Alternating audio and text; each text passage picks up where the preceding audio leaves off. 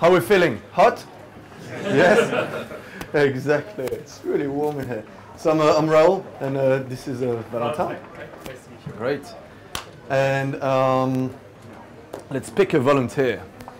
You, sir. What's your name? Dennis. Dennis. Fantastic. So Dennis is going to be a volunteer today. So Dennis, have you ever been, you know, to like a, a fancy dinner with your boss, and you need to sound smart really quickly? Do you know that situation? You know, you want to pay a rise and kind of need something to say. Don't worry, Dennis. We've got your back. Today, it's all about the buzzwords, things that make you sound smart, things like Spark, Hadoop, you know, EMR. Who knows what that even means? But it makes you sound smart. So, you know, that's for the situations. Okay. So, very buzzword compliant, uh, Valentin today. Yeah, that's right. We uh, decided that we didn't just want to stop at big data, because everyone talks about big data, and we wanted to take it to the next level. So we got humongous data. You know, we can take IBM, you know, the marketing department from IBM has nothing on us. We got humongous data, okay? So, um, but more seriously, you know, before we, we start off, we're gonna talk about big data. But what do you guys think is the first big data system that was maybe created? And yeah, it is. Dennis, come on, you must have ideas, Dennis. Regular file systems. Regular file systems? Okay. Let's go a bit more back in time, I think. It's human. Library of Alexandria. Someone, someone has looked at the slides. so the Library of Alexandria is the answer. Right. DNA. That- that's Yeah, a we, good have to, one. we have to say it's the human created as opposed to evolution created big data system. Indeed. So the Library of Alexandria is really interesting. It could store about 400,000 papyrus scrolls. I love that word. And um, across 60,000 square meters. So that's huge. It's probably the first real system where you could kind of structure data and query it, even though it's really, really slow. But some estimates say that it's about 4 gigabyte to 40 gigabyte of data if you do a kind of multiplication of 20 pages per papyrus scrolls and then you multiply, you get about 40 gigabyte of data. Not bad, not bad. So, what we're going to do in this talk is to first start off and give some background of what big data is, what it's all about, and what we care for 10 minutes. And then we're going to get our hands dirty with uh, something really cool called Spark. Nothing to do with Cambridge Spark. Just want to mention it's a it's a open source project created by smart people. Um, and then we're going to look at how we can scale uh, some basic file processing, some data processing questions on the cloud. So, who has watched Fast and Furious? Raise your hand. There's no need to be ashamed. You know. it's a safe environment here. It's okay. It stays in this room. So Vin Diesel brought us the awesome Fast and Furious series, but he also brought us Triple X, which we rebranded to Triple V's. And that's what really big data. There's three characteristics really that people talk about. There's the volume, the velocity, and the variety aspects of big data. So, what's the volume about? So, you know, volume is something quite quite simple to, to think about. It's things that are stored uh, on computers. So if we think about Facebook, you know, Dennis, you use Facebook? Do you like to take a cheeky selfie now and then? yeah? With your boss as well? no? Right. So if we think about Facebook, you know, there's a, uh, even 2 billion users now. And let's say the daily average contribution is 1 megabyte of data. Okay? If you do a multiplication here, you end up having more than 300 petabyte of information for a single year, right? So in sort of a data center, you get over 300 petabyte information. It's, that's not even counting things like replication. So volume is a big issue from an infrastructure point of view. A good way to think about this is that, well, I don't have enough space on my machine here, so I'm going to have to partner with something else, like another computer, maybe with Dennis, you know? I've got too much information I'm going to share some information with you, you know, let's, let's split the work. But that brings some issues in terms of coordination and processing, so suddenly we have to decide who's going to do what. And I don't know, Dennis, yesterday, did you go for a drink? Yeah. So maybe you have a hangover, you're down, you know, and I can't rely on you anymore. So we have to deal with fault tolerance as well, right? When we think about machines going down. So quite a lot of engineering issues with volume at one time. But what about velocity? What's that all about? So, as, so we saw volume that was just you have too much data, and it, it's worth noting like all of the things we're noticing here, volume, velocity, uh, variety, these are issues. These are things we have to tackle. So velocity is another issue. And it's the idea that I just have too much data coming in at once. So it's really the speed at which data is coming in.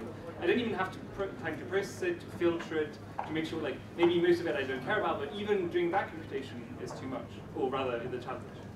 Indeed, there's some really interesting uh, examples of what's happening, you know, in industry. Uh, Twitter, you know, they, they, have released some statistics about 3,000 images per second that are kind of being shared. So, you know, if you think about it, that's a lot of selfies.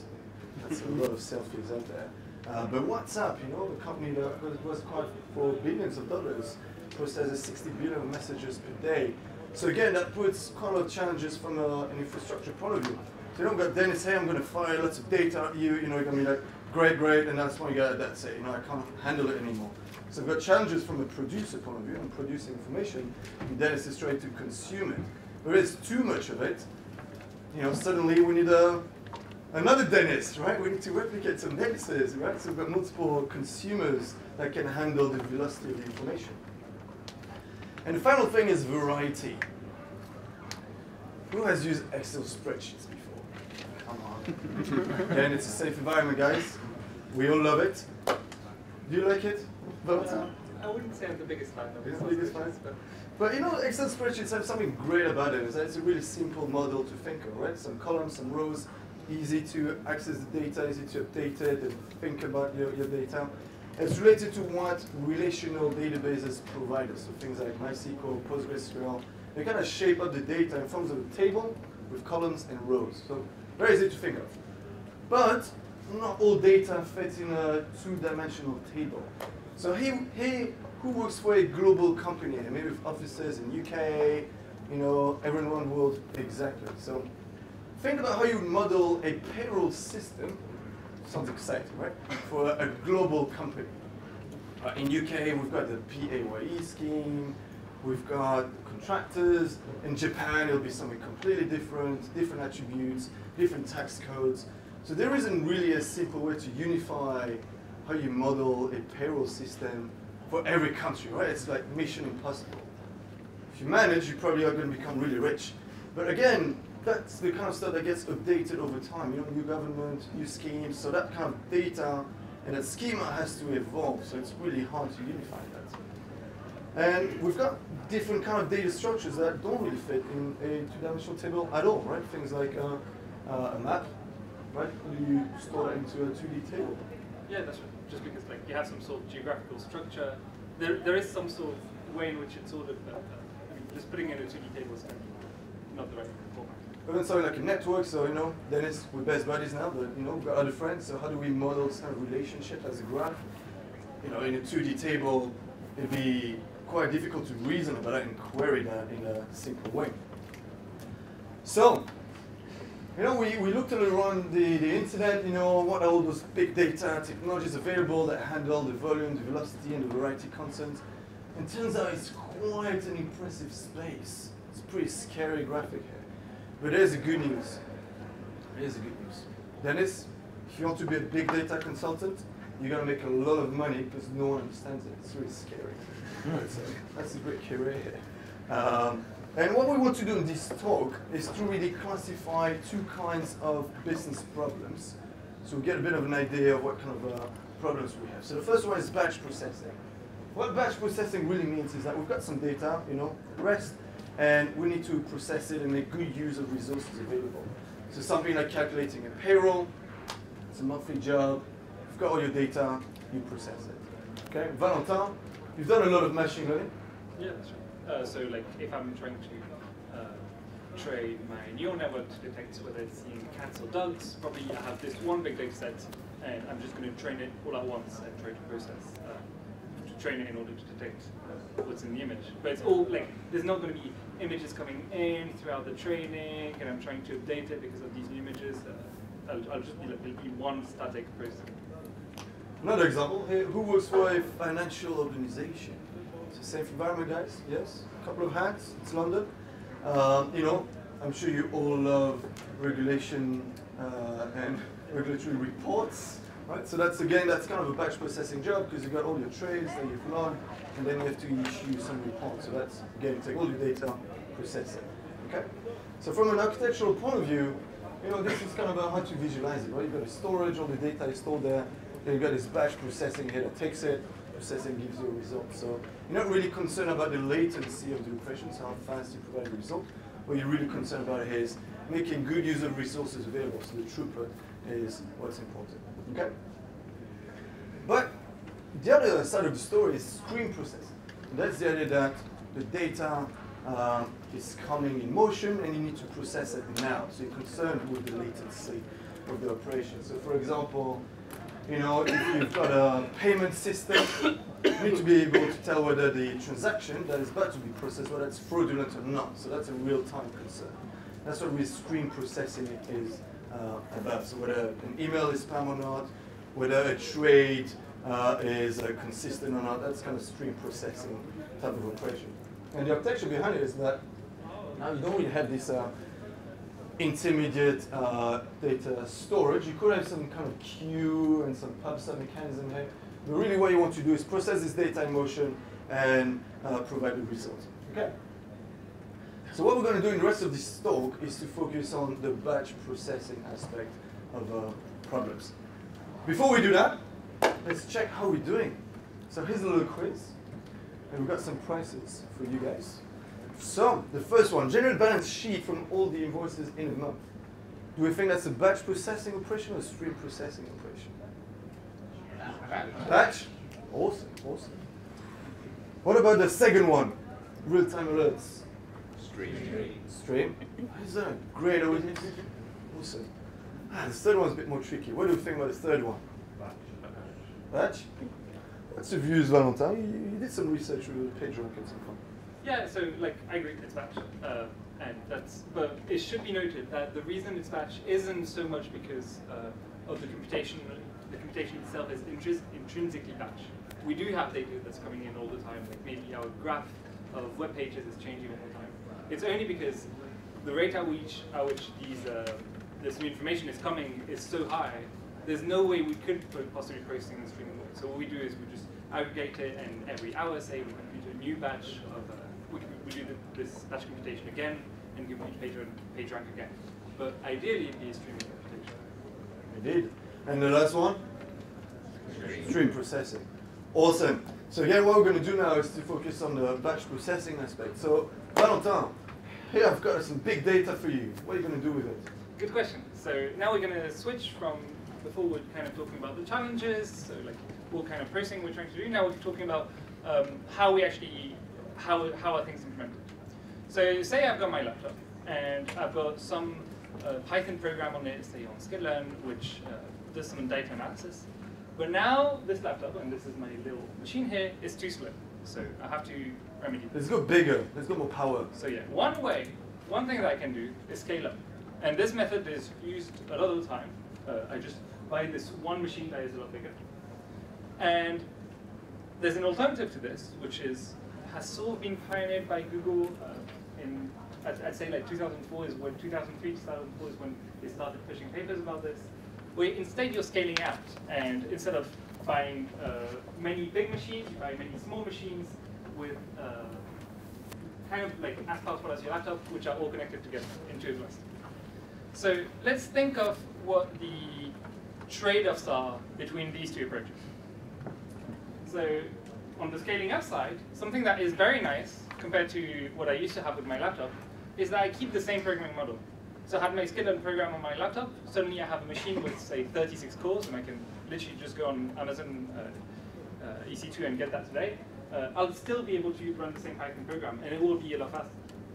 But there is some downsides which are that it's going to cost me a lot of money, uh, it's not very flexible, so if tomorrow the amount of data that I'm trying to process doubles, there's nothing I can do about it. I'm just stuck with this machine, and this is the biggest machine I can find. And also it has a single point of failure, so if my machine breaks, suddenly my system goes down.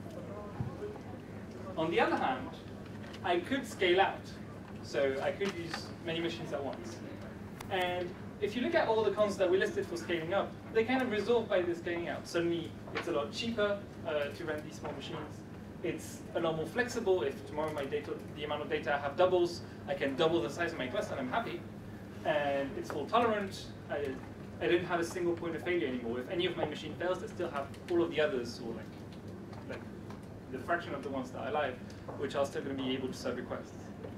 But the big downside of this approach, and like it shouldn't, it can't be emphasized enough that sometimes scaling up is the right choice because of this, is that suddenly I lose a lot of uh, programming model flexibility. My Python program that worked really well on my single machine now doesn't work. So what are we going to do about it? so if you look at the image here, so we still have all of our machines, and what the Hadoop ecosystem lets you do, and this is uh, the system, the, the ecosystem we're going to be talking about in this talk, it's kind of like you just have one huge machine there instead of a cluster. It abstracts it in a way which makes it similar to a single machine.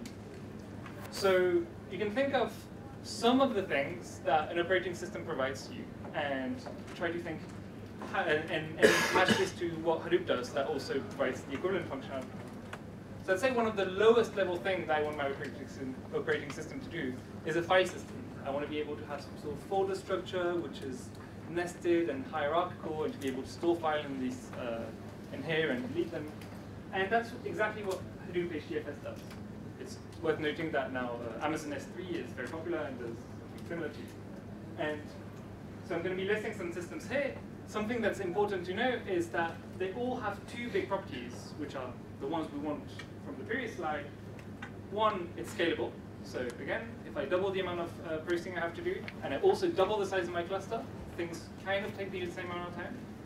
And second, fault tolerance. If any of the machines in my cluster dies, or if any maybe like two or three machines die in my cluster, I'm still able to perform just as well as I would. And this is because we have so many machines, it's very likely that some of them are Okay, so our file system, uh. Now, resource management is another thing we may want to provide. And this one is a little less obvious because you don't really see your operating system do it. And what it does is basically tell you, um, so it, it, looks at all of the machines you have, and it looks at all the cores you have, and all of the amounts of memory you have, and it'll be the, the uh, sort of framework responsible for saying, you get uh, 12 cores, so you get these six machines, each, each have two cores, with 200 megabytes of memory every time. And be responsible for keeping track of which program owns which cores and which memory. And at the end, when the program uh, terminates, it suddenly gives this, these cores and this memory back away so that Yarn can give it to some other program. So finally, and this is kind of the equivalent of our Python program, at the top we have some data processing uh, programs. So we have Hadoop MapReduce and Apache Spark. um, they both try to offer the same sort of abstraction. It turns out that Apache Spark is a more recent one that has a lot of pros. It's uh, because of good engineering, it's often faster, and also its API is more flexible. And so that's what we're going to talk about in the rest of this talk. Sorry, so Hadoop is just a brand name, and the product is HDFS for Yarn or MapReduce? So Hadoop is a, I think, is a, an ecosystem. That's what we, well, there's, there's, I think there's multiple things. I think initially Hadoop is just uh, kind of like, yeah, Hadoop, uh, the Hadoop data file system and Hadoop MapReduce were projects part of sort of the Hadoop ecosystem. Now what people call the Hadoop ecosystem is a lot of other frameworks which weren't necessarily under the Hadoop, Hadoop hood, but also like kind of interface with it. So Apache Spark isn't, as far as I know, linked with Hadoop in itself, but just lets you interact with a lot of Hadoop, Hadoop products very easily. Yeah? Um, I know I don't have much experience in this, but I know that you can run Apache Spark with other resource managers. Yeah, that's correct. Yeah. Can it also use other file systems? Uh, yeah, so you're going to use S3. We're actually going to use S3 in our, in our uh, demo in a second. Okay. Yeah. Well, Spark can work with the Hadoop ecosystem, but it can also operate completely separately. That's right. I think the Hadoop ecosystem, like now, really you should see it as um, a set of open source frameworks which let you do uh, data, uh, like scaling out data processing and that all like kind of fit together. But they don't all like, there's many sort of like pieces of the puzzles that are duplicated in, like there's multiple frameworks that are Cool. Um, for example, we'll just use Spark just on my laptop, right? And I don't have HDFS on my laptop, so that's an example how you can use Spark. So what we're going to do now is do a bit of live coding, just get a feel for the Spark API and what kind of operations we're able to, to do. And we're going to use a new fancy tool here called Zeppelin. And I think it's a brilliant logo. And what Zeppelin is, is essentially a thing like a Python notebook, so a bit of a REPL. You know, you, you type some code in here, one plus two, I'm sure we all want to find out, and it gives you the, the result, okay? But the benefits it provides on top of Python notebook is that there is integrated support for different data visualizations, like generate pie charts or graph based on the data, and we'll use some of those tools, okay?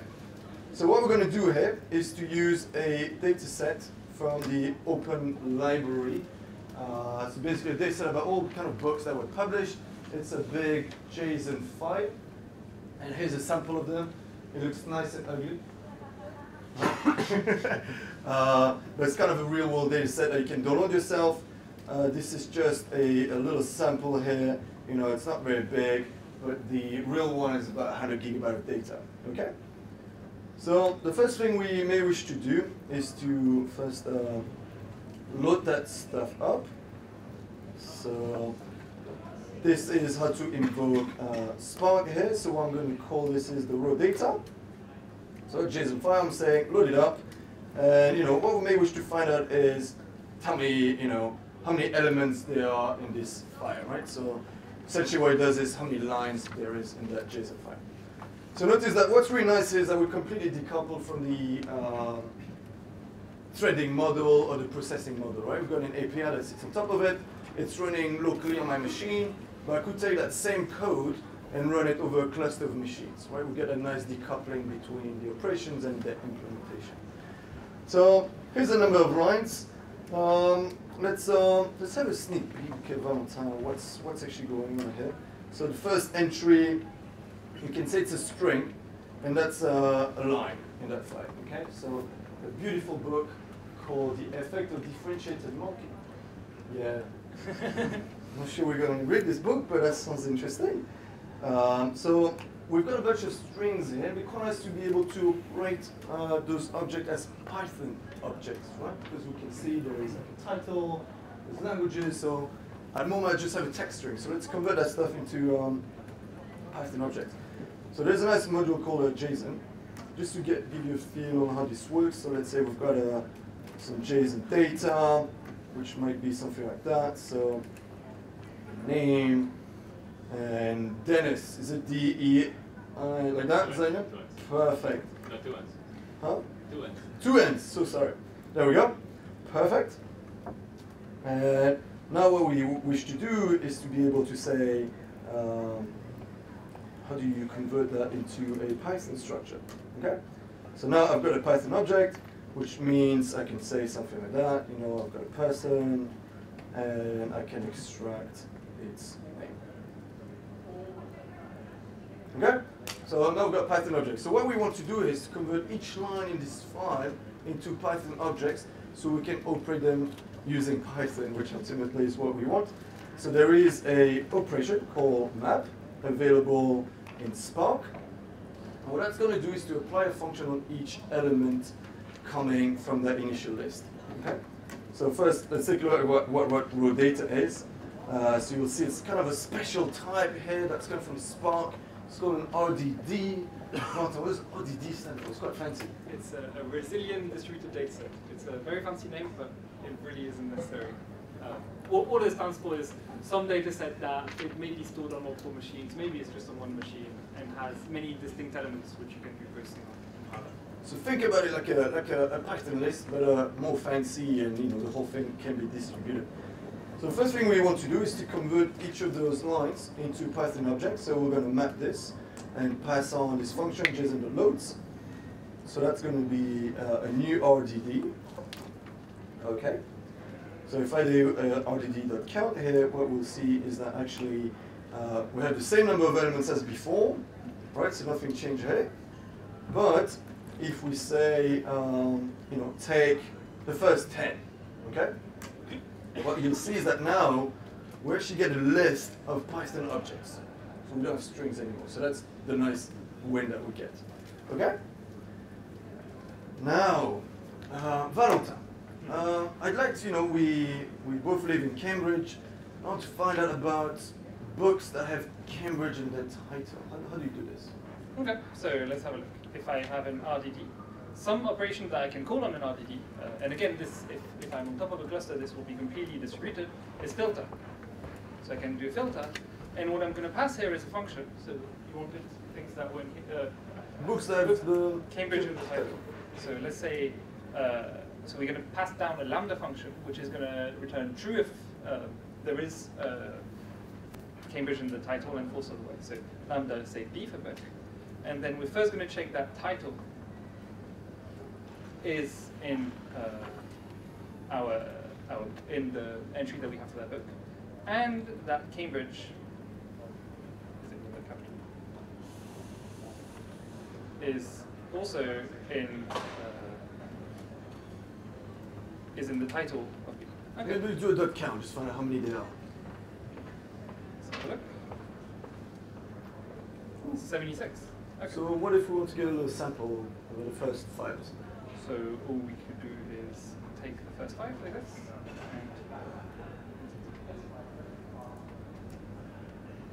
And okay, so uh, let's have a look. Uh, The new the Cambridge new Cambridge course. The new Cambridge English course.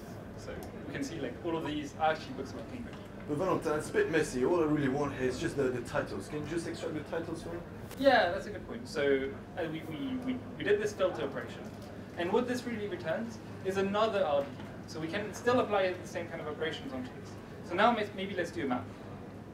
And uh, so we have all these 76 entries, and each of them are going to get, get processed individually. And we're going to pass a function again, so lambda, which takes a book, and just returns the title of that book. We know that the book has a title because we already filtered out the ones which didn't at the very beginning. So how do we, instead of finding the first five, how do you get all of them? uh, if I call collect, it'll just return the entirety. So do you want me to collect all of this? Yeah. Let's go crazy. Okay. Alright. So the new Cambridge English course, the new Cambridge English course, the new Cambridge English course. This it is seems that this, this, this one may be there quite a few times. But, Clinical Governance Review of Cambridgeshire and Peterborough Mental Health Partnership NHS Trust. Sign me up.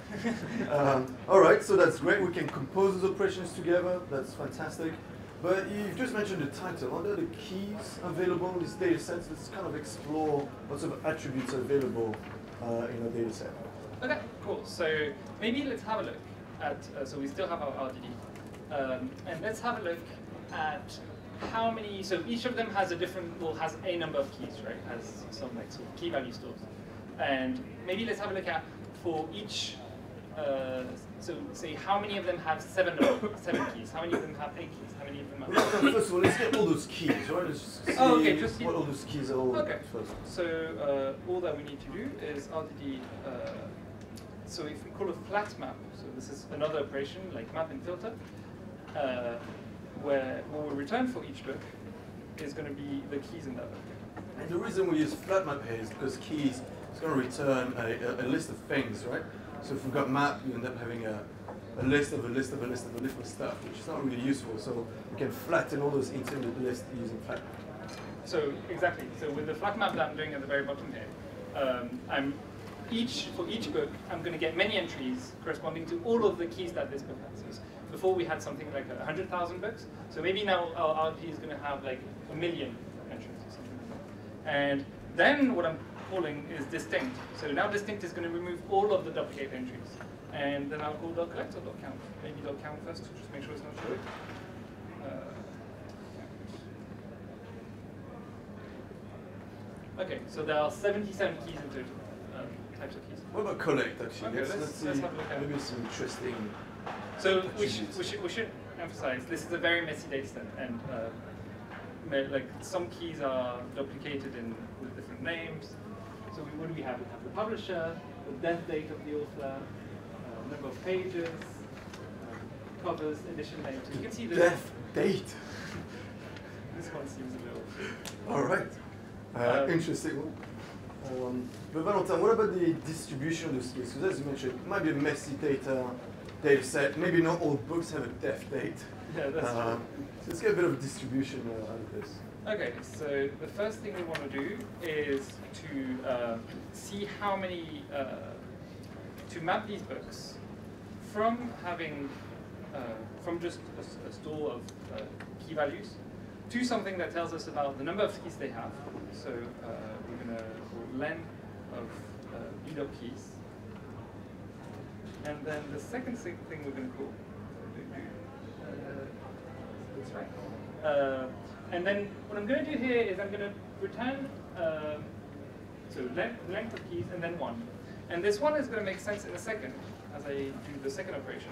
So that's a tuple that we've got going on here. Yeah. Okay, so number of times the keys, well, the number of keys we've got for a specific book, and then the occurrence of one. So then the operation I'm going to call, and it's worth noting that what I'm doing here is actually exactly what MapReduce is. So like MapReduce is kind of like a computation pattern, and the computation pattern I'm using here is exactly MapReduce. And so let's have a look.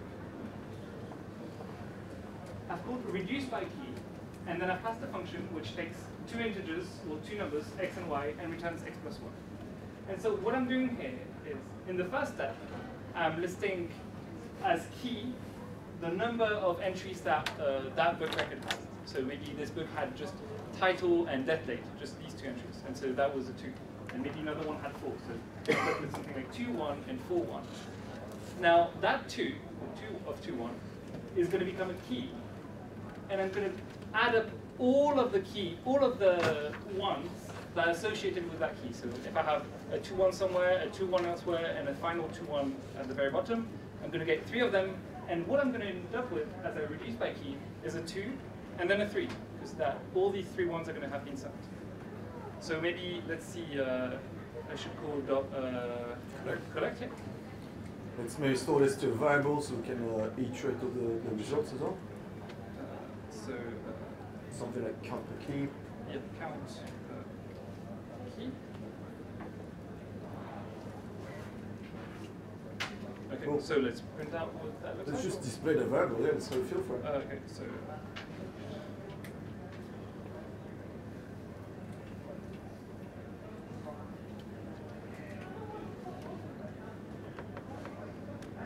Okay, so we can see kind of what it looks like. It says uh, there are 6,976 entries which have 25 keys. There's 1,411 of them which have 10 keys. Valentin, you know, I'm not really a text guy. I like pretty, pretty graphs and visuals just so I can understand a bit about the data. So have you got something uh, more interesting, maybe integrated in Zeppelin? So that's a really good question. Um, so it turns out Zeppelin actually has a really neat way to, uh, like a very easy way to print data. Um, so what I'm telling here is I'm, print, I'm telling Zeppelin, okay, so I'm about to give you a table, and then I just uh, pass down the table. So for each entry uh, in uh, count key.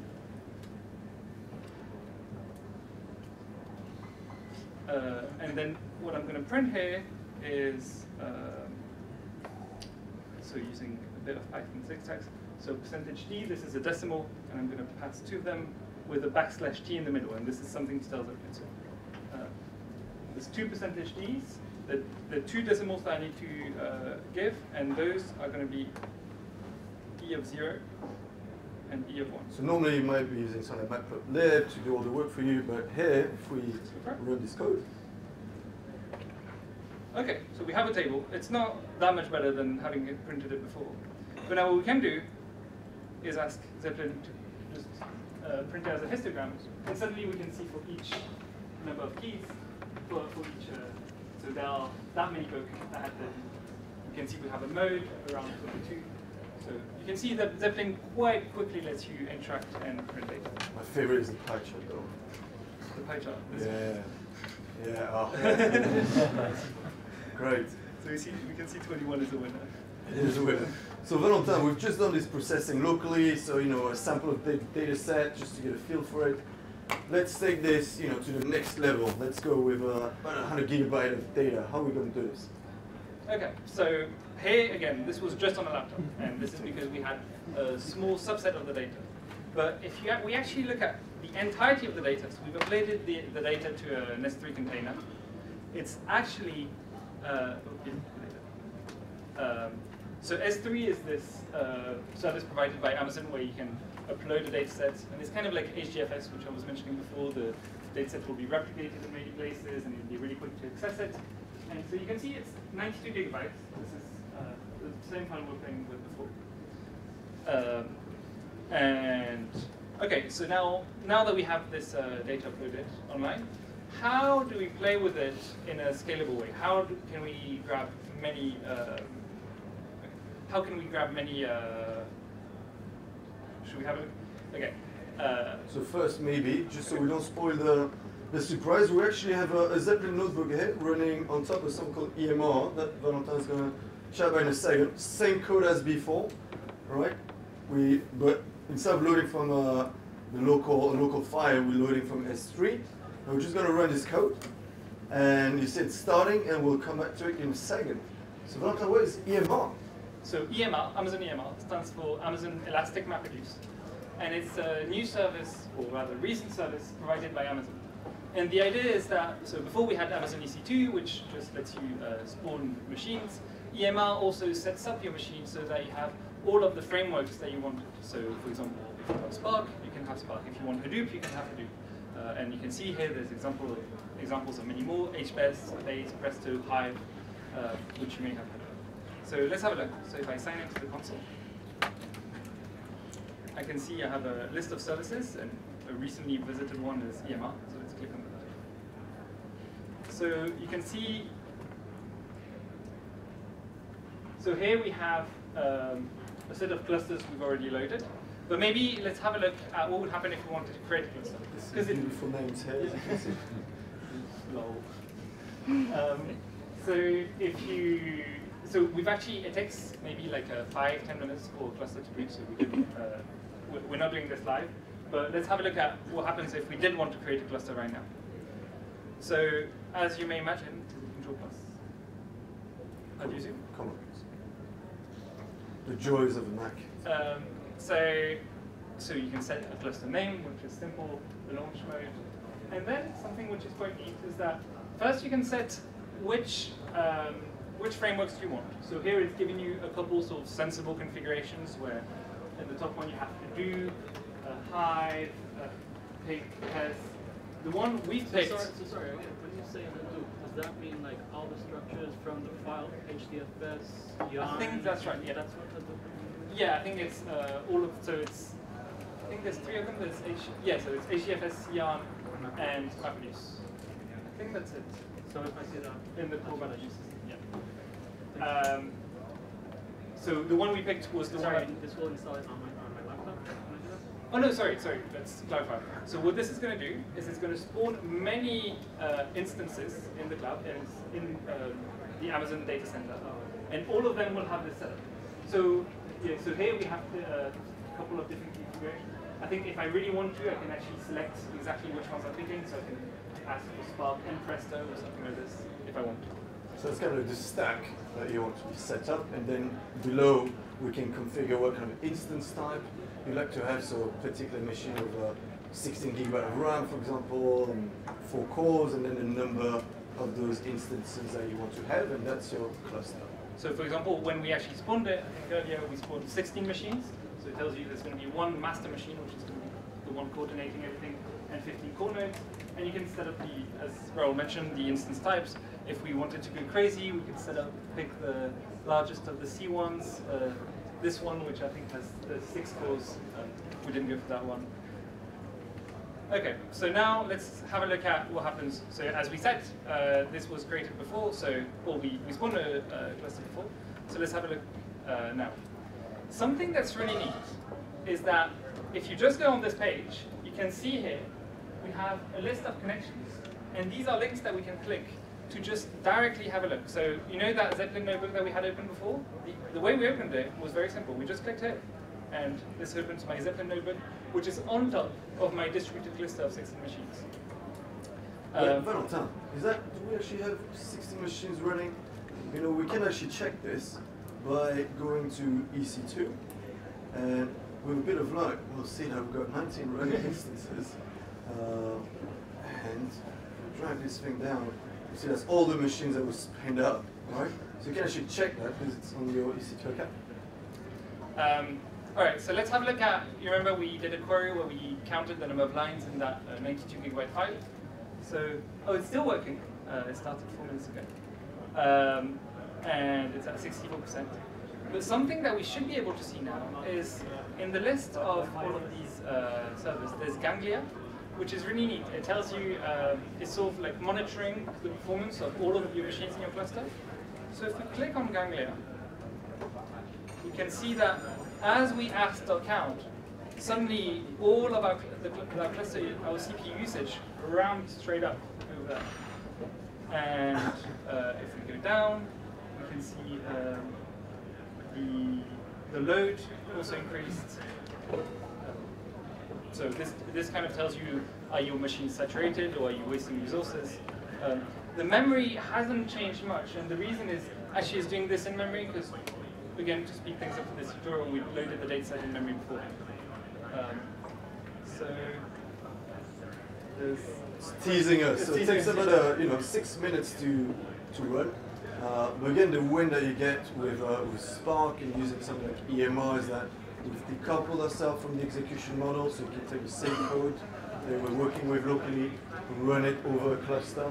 So that's a great way. From an integration point of view, Spark support, you know, there's an API in Python, in Scala, and Java. So those are technologies that you use uh, at work, then there's a quite simple conceptual kind of a migration to something like Spark because it's good support. Yes?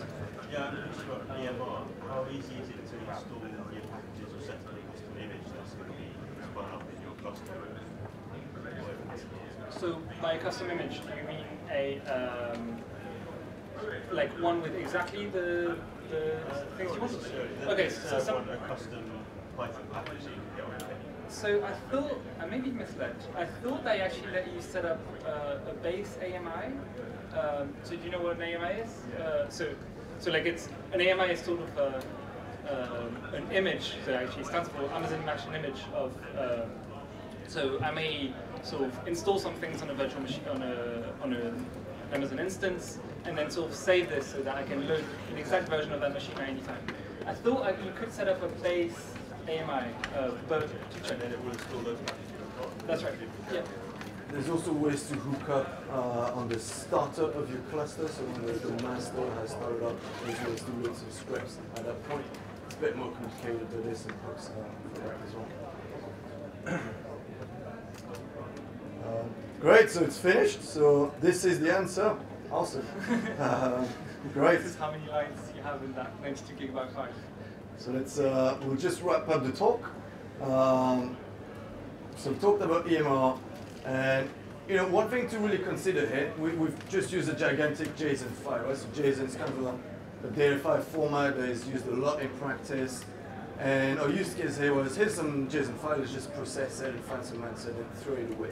But in practice, you'll often get a win by you know, converting your data in something like Parquet. So there was a talk about Parquet this morning, which is quite a nice data file format, which has support for different encodings, can be compressed as well. So we use, we reduce the, the size of the file, which means there's less transfer between the different machines, so you get a nice performance win from that front. And specific queries are going to be run more efficiently using something like Parquet because it's a columnar kind of uh, data format. So that's something to keep in consideration. There's also quite cool new tech uh, appearing these days, uh, approximate querying systems. And what those guys do, which is pretty amazing, they say, hey, you know, here's petabytes of information, and you can query that within a second or two. And the way they do it is by just having a sample of the data that's indexed, and you query that sample. So it's kind of a, an error rate, but that might be perfectly reasonable for uh, certain kind of business queries. If you're doing business intelligence, you know, often you don't really care about the really exact result, but just kind of an indication of what it is. So that's stuff to, to look at as well. So a quick plug. Uh, so Cambridge Spark, we provide professional development training for data scientists, aspiring data scientists and developers. We provide different courses publicly, so you can sign up, come over a weekend, also in-house on things like machine learning, big data analytics, NLP. Uh, we have a six-month program running in London where basically uh, we help you transition to become a data scientist. So that's quite a, requires a lot of commitment. And finally, it'd be great to see some of you guys in Cambridge. We're running the Cambridge Data Science Summit in partnership with the Sanger Institute. So it's a big uh, research center for genetics uh, analysis. Uh, we've got different speakers and workshops as well. Thanks for coming to our talk. And Dennis, a bit of a round of applause for Dennis.